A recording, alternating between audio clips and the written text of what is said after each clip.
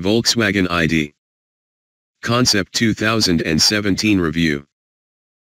We enjoy a short drive in VW's ID. Concept, which previews the first of a new range of electric vehicles from the brand. Verdict.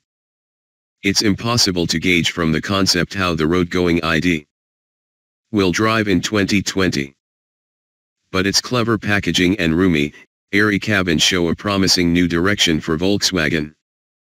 The biggest challenge for the firm's engineers now, in fact, is to deliver enough of the show car's high tricks, and a reasonable range, while still keeping VW's promise that the ID will cost Golf money. Volkswagen actually built pure electric versions of the MK1 and MK2 Golf more than 30 years ago, but only recently has the firm really stepped up to the plate, launching the E-Up and two versions of the e-Golf. In the near future, though, the German brand believes that it will need a more bespoke setup to really exploit e-mobility, and that's where ID comes in. We've been to Lisbon to have a short spin in the ID, a funky looking concept that was unveiled at last year's Paris Motor Show.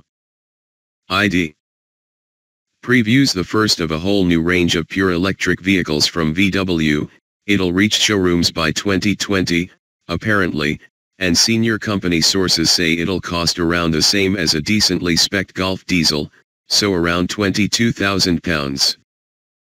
Think this is a bit of a folly? Think again.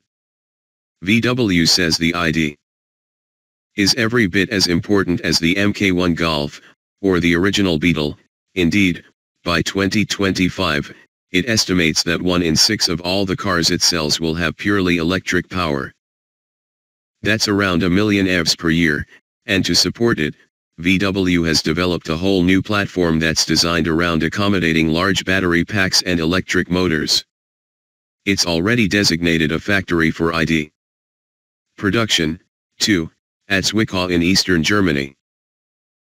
Called MEB, the new chassis architecture will also underpin models from the VW Group's other volume brands, Seat, Audi, and Skoda. It can have front and rear mounted motors, so it could support four-wheel drive electric SUVs. And while the ID concept is expected to be the smallest model in the lineup, MEB will support cars of up to around 4.8 meters in length. In fact, one of the first things to strike you about the ID concept as you approach it is how small it is. It's a hatchback that's around 15 centimeters shorter than the current Golf, so only a little bit longer than the Polo. But its wheelbase is within a couple of centimeters of a Passat's, a key development that's only been made possible by MEB. The overall look is clean and sophisticated, although there are show car elements that are likely to be toned down for production.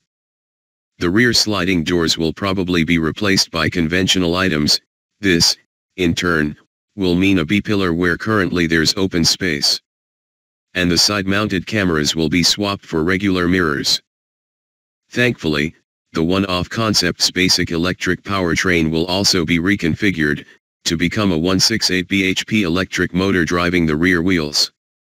VW is likely to offer the car with a choice of battery capacities to suit all wallets and lifestyles, everything from around 200 miles up to an impressive 375 miles. It's worth noting, of course, that these figures may look much more normal by the time 2020's battery tech kicks in. The concept is valued at more than 7 figures, so VW didn't allow us to take it much beyond 15 miles per hour along our short test route. Driving dynamics weren't up for evaluation here anyway, what we were able to sample is how the ID's cabin environment feels on the move, and it's pretty special. Just as the small exterior dimensions may surprise, so, too, will the generous amount of space once you climb aboard. There's enough space for four tall adults to sit in comfort, and we're told the production model will take advantage of the flat floor to add a fifth space as part of a rear bench seat. It's incredibly airy, too, thanks to a spectacular full-length panoramic glass roof that bathes the soft shaded cabin materials in light. And even where there are structures and materials, their design is beautifully simple. There's no screen in the middle of the dash, nor a center console. Even the central armrest can be moved fore and aft, or removed completely if it's not needed. There are, in fact, no physical switches. The concept's gearbox is controlled by touch-sensitive areas at the bottom of the small steering wheel. And elements like heated seats, ventilation, and even mobile phone controls are integrated into panels in each of the doors. The only screen is the driver's instrument panel, a high-res unit that's viewed through the steering wheel instead of over it and is capable of displaying navigation info, speed, and info on what you're playing through your smartphone. How much of this will make production? Christine Lutter-Albert, a marketing specialist in VW's e-mobility division, says the firm is determined to keep the button count to a minimum. We know there are some elements like the hazard switch that have to legally have a button, she explains, but beyond that, we're exploring lots of possibilities, including gesture and speech controls. She acknowledges that the ID's fascia will need to incorporate some storage space, right now, there's nowhere to even store your phone, let alone a glove box, but also points out that the fascia's fabric finish would offer great scope for personalization. The production car may also get a front boot, a frunk, to boost practicality and take advantage of the fact that there are no oily bits in there. And the panoramic roof will be offered, at least as an option.